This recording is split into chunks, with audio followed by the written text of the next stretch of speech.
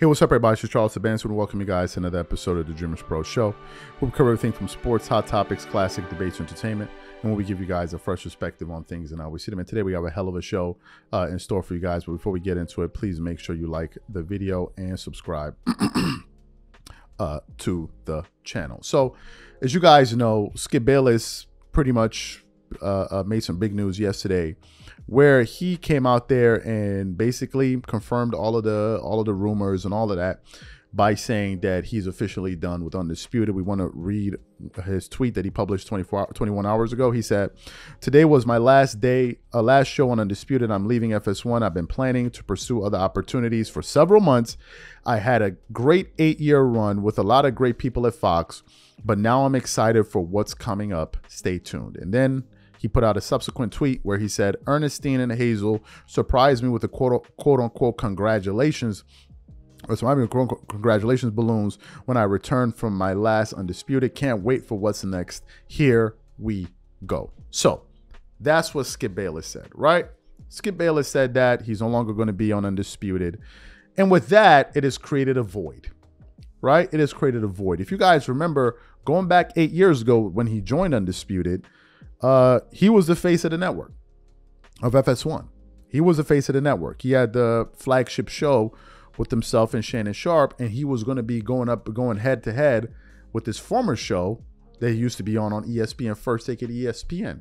And for a number of years, they held their own. Were they ever really, really a threat to ESPN First Take? No, right? Because it's the bigger platform, but nevertheless, uh, FS1 was still, I mean, uh, undisputed. Was skipping skipping Shannon's undisputed was a very, uh, it was a competitive show, right? But then what happened a year ago? Shannon Sharpe leaves the show, and then we witness an incredible decline in ratings, and then it just kept on getting worse and worse and worse and worse, and then ultimately we got the news that Skip Bayless is no longer going to be working at the network. So then, so then, many of us began to speculate who's going to be Skip Bayless's replacement.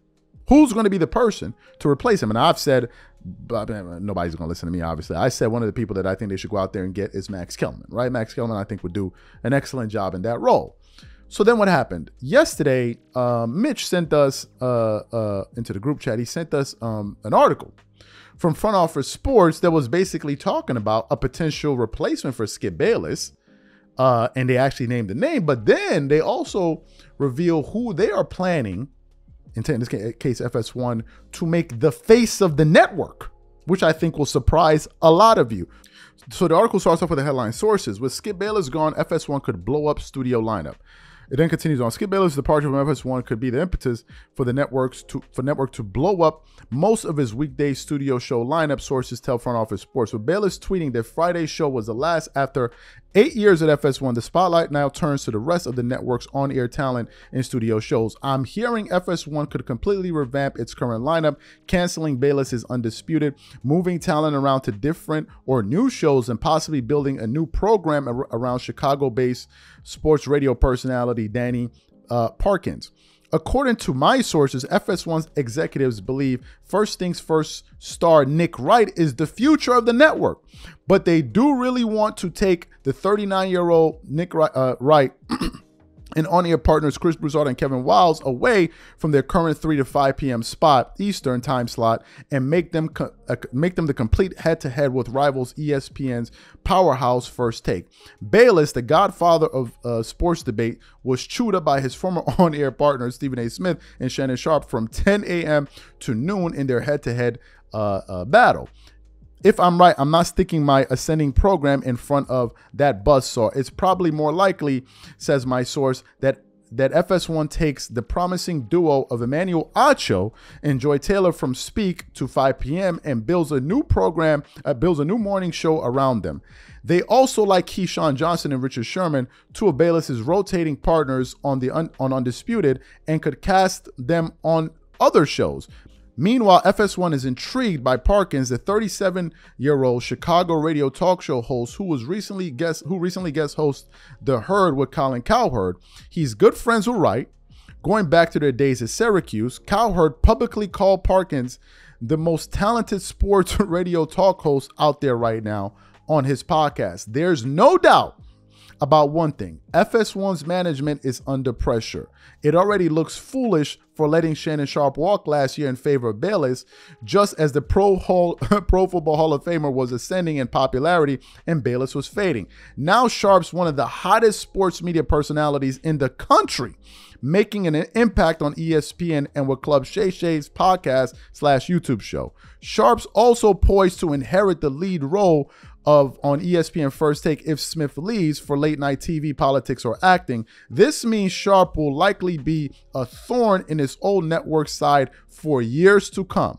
FS1 needs to do something this summer to improve its weekly studio lineup in time for the 2024 NFL season. Studio shows are designed to help drive viewers to live game coverage, with Tom Brady joining as Fox uh, Fox number one NFL uh, game analyst, and the network's poised to uh, poised to broadcast Super Bowl. The sports cable network needs a healthy studio lineup. One of the many puzzling things about Bayless's tenure was how FS1 let him talk nonstop about the NBA when Fox doesn't have any NBA rights. So you heard what the article had to say uh, there. What are my thoughts on this?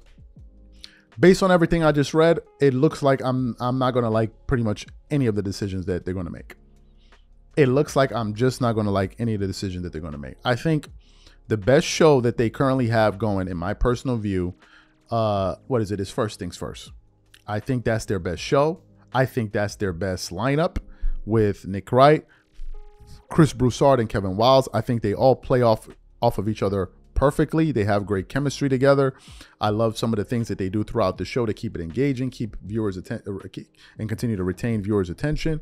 I think that's their best show. So moving that to the morning slot, I think they could do well, right? I think they can do well. So that's the one move I like.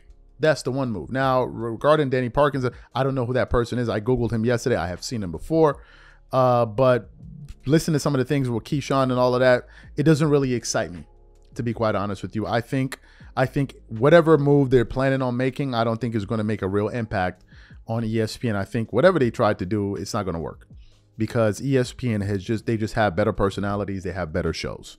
Like just just name them. Get Up, ES uh, what is it? First Take, Around the Horn, uh, um, all of the you know, what, what is it? NBA Countdown, all they have the best shows in terms of personalities, they know how to build out their personalities better.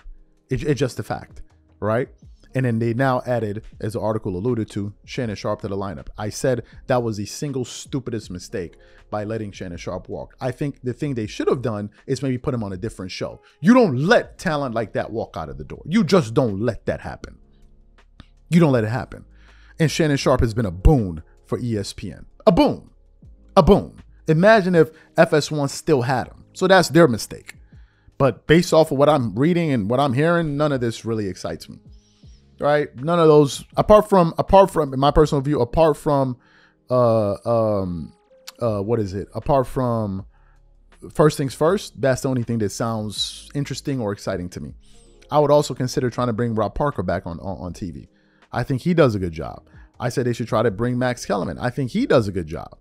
Right? Bring people that people excited and want to hear about right? This is just my view, but I could be wrong. I've never ran a network, don't have any uh, uh, intentions of running a network. I'm sure these guys know a lot more than I do. I'm just speaking from the standpoint as a viewer and based off of what I'm hearing and what I've seen.